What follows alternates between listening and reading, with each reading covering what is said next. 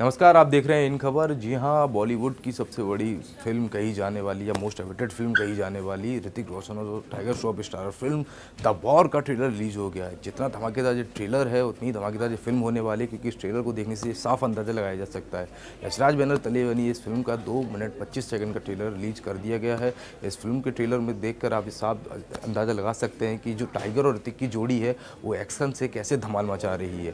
साथ ही साथ इस फ़िल्म में जो ट्रेलर से दिखाई दे रहा है कि टाइगर और ऋतिक की जोड़ी। इस फ़िल्म में टीचर और स्टूडेंट का किरदार है, दरअसल उनका।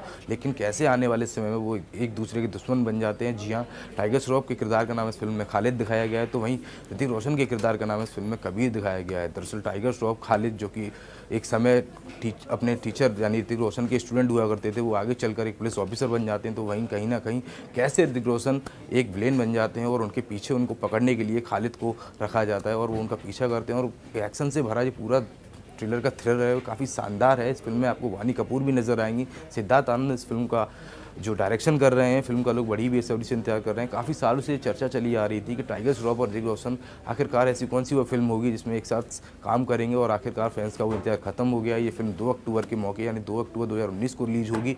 फ़िल्म बेहद शानदार होने वाली कि ट्रेलर बहुत ही धांसू है एक्शन से भरपूर एक से एक बढ़कर सीन है इसमें। वहीं फाइट सीन भी ऋतिक और टाइगर का वो भी काफ़ी शानदार दिखाया गया है। तो देखना ये होगा जो फ़िल्म में गुरु शिष्य की जोड़ी दिखाई है। असल ज़िंदगी में भी कुछ ऐसा ही है, क्योंकि टाइगर श्रॉफ ऋतिक को अपना गुरु मानते हैं और कई मौके पर उन्होंने इस चीज़ को कहा भी है, इंटरव्यू में बताया भी है। हालाँकि जब बॉर के पोस्टर रिलीज़ हुए तो उस दौरान टाइगर श्रॉफ ने भी ये कहा कि एक बार फिर से गुरु चेले की जोड़ी देखने को मिलेगी। हालाँकि ये पहला मौका है जब ये दोनों कलाकार बड़े पर्दे पर एक साथ नज़र आएँगे। ट्रेलर बेहद धांसू है, सोशल मीडिया पर ये वायरल हो रहा है, लोगों को काफ़ी पसंद आ रहा है और साथ ही साथ आपको बता दें, ये फ़िल्म भी बॉक्स ऑफ़िस पर काफ़ी रिकॉर्ड तोड़ने को तैयार है। अगर वीडियो अच्छा लगा हो तो इसे लाइक करें, शेयर करें। चैनल इन खबर को सब्सक्राइब करना बिल्कुल, न भूलें। धन्यवाद। इन खबर चैनल को सब्सक्राइब करें और बेल आइकन दबाना ना भूलें।